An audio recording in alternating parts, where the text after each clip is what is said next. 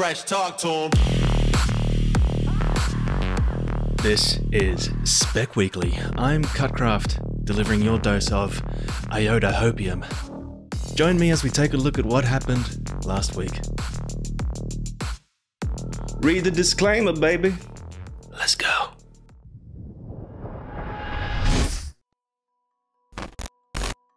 We were blessed with a Q2 update, so let's take a look at all the hard work the IOTA Foundation has put in.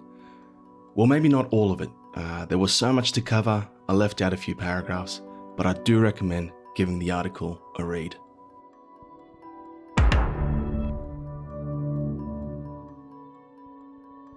The Shimmer EVM testnet took off on March 29th without major roadblocks.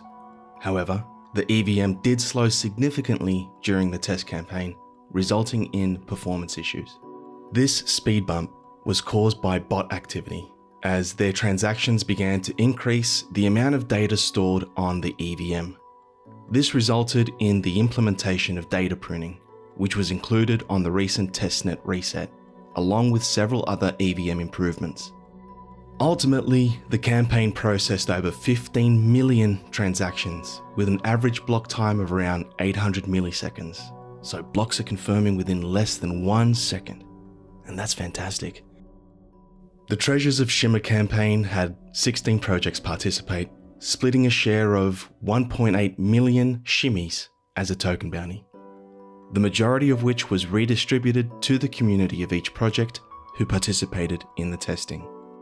A big shout out to everyone who got involved in the campaign and to all the projects who participated and helped get the Shimmer EVM into shape for the mainnet release.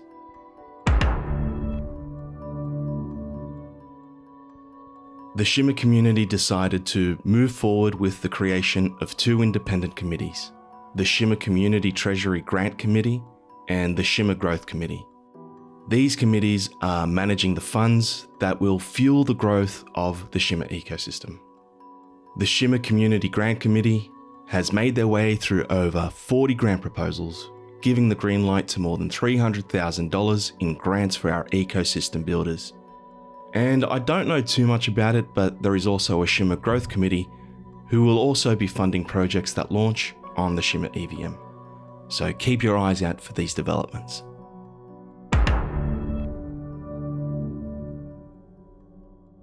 Go GoShimmer was the prototype node software for Coordicide, the main focus being on Tangle voting consensus. In other words, IOTA's way of validating transactions without a coordinator node. The core node research team are taking the findings and functionality from GoShimmer and transferring them to IOTA Core, the IOTA 2.0 node software. IOTA Core is going to include the new on-tangle voting consensus as well as a configuration for Mana, Mana being the congestion control mechanism for IOTA with Coordicide. It looks as though there's also an incentive task force who are researching how game theory and tokenomics can be applied to layer 1 IOTA and Shimmer tokens in combination with Mana. And I can't wait to see how this all unfolds. I'm confident the IOTA Foundation are doing their best to ensure that there's plenty of reason to buy and hold IOTA in the future. Bring on the IOTA 2.0 education campaign, I say.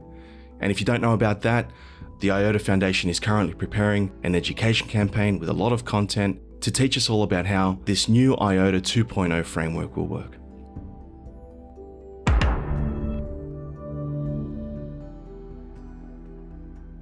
Parameter setting and user experience details for the protocol are being finalized by the protocol research team. Hey, hey, what the does that mean? What does it mean?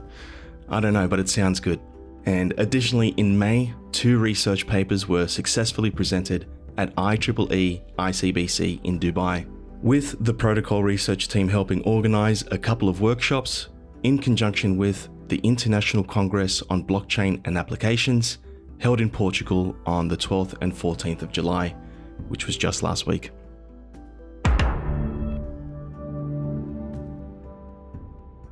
The Ledger research team has made significant improvements to various components of the IOTA ledger, including the Programmability Working Group, who are investigating the implications of deterministic program execution on UTXO based blockchains.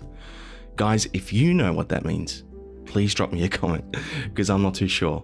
And I feel like talking through all this is going to expose my smooth brain, if I'm being honest. But bear with me. The Tangle Dynamics Working Group have had two of their research papers accepted for presentation at this year's International Congress on Blockchain and Applications. These papers contribute valuable insights into fairness in DAG based DLTs. So it's good, we're, get, we're getting our academia all sorted, we're getting our theory out there and verified and validated. So their presentation about DAG based DLTs was positively received at the UZH Blockchain Lecture Note Series in April. And something awesome, IMT Brest, a prestigious French technology university who are fond of hard nipples, have appointed a dedicated postdoctoral researcher focused on studying the theoretical aspects of tangle dynamics. So we've got a future doctor specifically looking at how the tangle behaves. Amazing. The Finalization Research Working Group have transformed theoretical conditions into practical applications by implementing the confirmation and finality gadget, as well as the slot commitment chain switching rule. Again, I don't know what these things are, but I like the sound of transforming theory into something practical. But this bit is important. Uh, the working group has also demonstrated security guarantees for the confirmation and finalization flags under the synchronous and asynchronous network models. This enables the team to confidently proceed with implementation and utilize real world scenarios. I say it's important because I've read a lot of critical tweets and threads about IOTA's approach to developing consensus for an asynchronous leaderless DAG. So it looks as though the Finalization Research Working Group has validated that their approach is secure and reliable. Amazing. The Congestion Control Working Group has finalised its proposal based on a mana burn filter and a round robin scheduler. And now the group is working on documenting their design so that it can be implemented. And even more academia, as the group produced a journal paper called Improving Quality of Service for Users of Leaderless DAG based Distributed Ledgers, that has been accepted for publication in the Association of Computing Machinery's Distributed Ledger Technology Journal. And this is great because the theoretical ideas that the IOTA Foundation have created are now being put out to the public for their peer review. Well, I'm not saying these papers are going to be peer reviewed, but at least they're out in the open and the ideas can be criticised and discussed. So it's, it's good going. The Incentives Working Group has designed the incentives mechanism and are finalising the implementation details of delegation and staking. The team are focused on getting the formulas right in the upcoming white paper so that nodes are able to generate valid calculations. This is crucial to prevent divergences between nodes, where divergences can cause forks. And additionally, they must ensure that the formulas remain consistent among nodes with different architectures. And lastly, the accounts design was optimized to enable shared security between layers, where funds in layer 2 smart contract chains can also contribute to the layer 1 voting power and receive mana rewards while still participating in layer 2. So if you have some assets tied up in something on a layer 2 DApp, you'll still be able to benefit from generating mana. At least I think that's what that means. The IOTA Smart Contract Consensus Working Group recently completed a successful public launch with the Shimmer EVM testnet. The Treasures of Shimmer campaign provided some valuable insights into IOTA smart contract performance, under continuous load and attacks. As a result, the working group has made improvements to the consensus protocol, specifically in memory management, while ensuring compatibility with the existing codebase. And that's that data pruning that we briefly touched on earlier. And I didn't even know, guys, but how about this? There's a working group dedicated to zero knowledge, the ZK working group who have finalized a report on the integration of zero knowledge proof providers into the IOTA protocol. The group has now begun work on another report to address the questions what defines ZK friendliness and what key characteristics contribute to ZK friendliness of a smart contract virtual machine. Well, that's very bullish because ZK is the new narrative. But don't release those NIPs just yet because, as far as I'm aware, ZK requires smart contracts on layer 1 Anyway, it's very good nonetheless.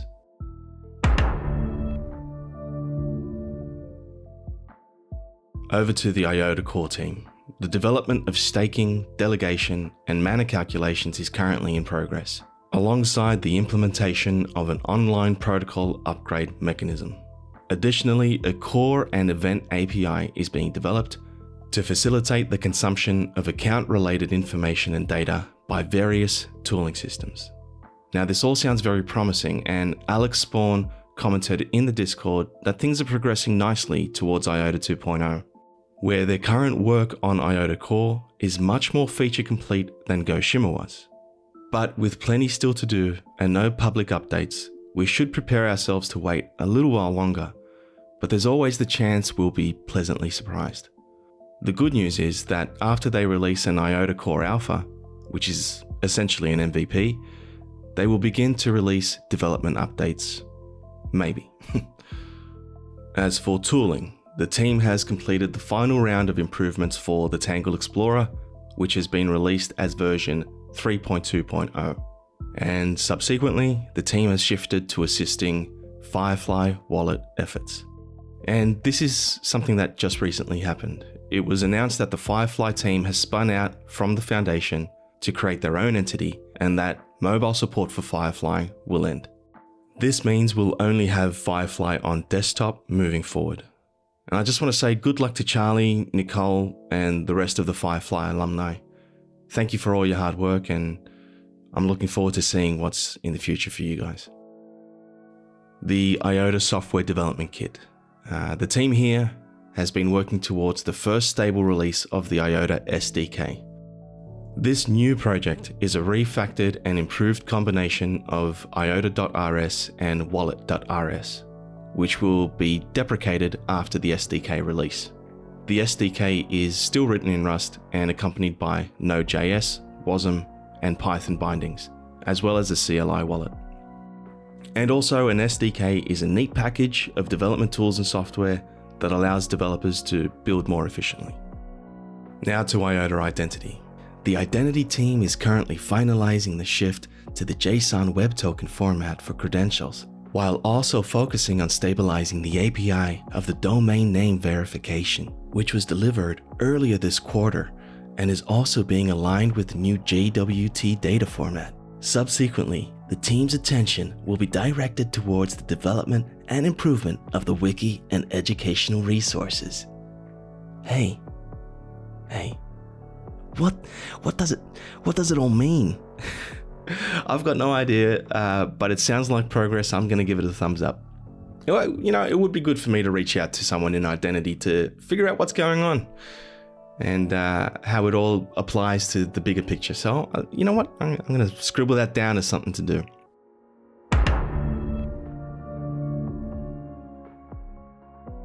Now to EVM tooling. The EVM toolkit is supporting developer interaction with smart contracts. It underwent a comprehensive redevelopment to extend support for the Shimmer EVM testnet. This includes a redesign and code refactored user interface and user experience. A transition to SvelteKit, not too sure what that is, and also MetaMask is being more closely implemented with support for IRC27 and IRC30, which are specific to IOTA smart contracts. There will also be a button to withdraw all funds from an account and user preferences are now stored and loaded when a wallet is connected. So this is all really cool stuff and should make smart contract building and integration a lot easier, which is also great for me because I've got a project coming up. But yeah, the uh, the ecosystem can definitely benefit from this. Okay, over to IOTA's governance. Work is underway to establish specifications and technical solutions that will facilitate access for the IOTA community to the 50T of IOTA Community Treasury via the use of smart contracts. So again, remember we voted ages ago to include 50T worth of tokens that were not claimed and put them towards an IOTA Community Treasury? Well, this is now becoming possible because of smart contracts. So the initial implementation of this feature is expected to be introduced in the Shimmer EVM. So there we go guys, more treasury and that's awesome. Um, we, have got to really grow this ecosystem by funding worthy projects. Now over to Touchpoint and what they've been up to. So in preparation for the Shimmer testnet launch and the mainnet rollout, the Touchpoint team prioritized collaboration and alignment between projects. They connected builders, uh, discussed infrastructure requirements, and validated interest in potential partners. And here's something that I really like and I think is great. They also did some cold outreach to projects from different ecosystems, primarily for DeFi and gaming, to explore expansion opportunities. So it's nice to know that around 10 projects were onboarded and they are having active conversations with dozens more. So kudos to you guys and well done, you Touchpoint guys. And to all the builders that are part of that Touchpoint program, I've been spying on you and seeing the way that you communicate in the Discord. And um, yeah, I, I tip my hat to everyone who's involved. So here's to continued growth.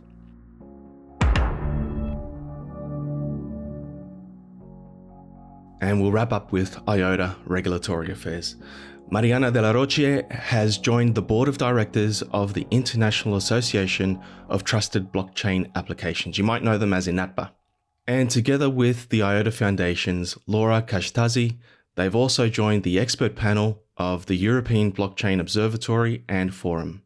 Now, the regulatory affairs team led the IOTA Foundation's work in being the voice of the DLT and blockchain industry on international regulatory matters. And it's very important to have an influence in this regard. We've all seen what happened with the SEC recently, Gary Gensler overstepping his boundaries uh, without much of a formal pushback outside of what was done on judiciary hearings. So it's good to see Mariana representing IOTA on the global stage and sort of getting in there while these regulations and standards are being developed rather than after the fact and pushing back against what's being proposed. So we're sort of guiding it and not just reacting to it. So a shout out to Mariana and everybody involved for this uh, very important piece of work. Okay, how about it? It's been a pretty eventful three months, and um, you know, you might have thought it was quiet going, but there's a lot of work going on behind the doors, and it's good to get these updates to sort of let us know what's happening. And hey, how about this market? Bullish signals. Nice little Bitcoin pamp. A little. a little sad to see that IOTA didn't really receive the same pamp, but look, I just hope we're really well positioned when the rallies really begin to take off. I'm hoping we've at least got the IOTA 2.0 alpha uh, out in the open when the prices really start to pamp. And uh, I say that because we can start a new narrative for IOTA without the coordinator as part of that conversation. Imagine how you'd feel as the coordinator. You know? All you're trying to do is protect the network. You work 24 hours a day, 7 days a week, 365 days a year, and everybody hates you. You would feel so down. And look, if you ever find yourself feeling down, all you have to do is remember $4 EOY. See you next time.